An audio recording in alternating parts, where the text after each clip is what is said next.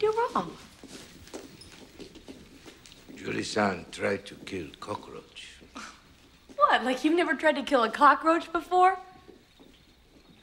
Monks here believe negative action cause suffering, pain.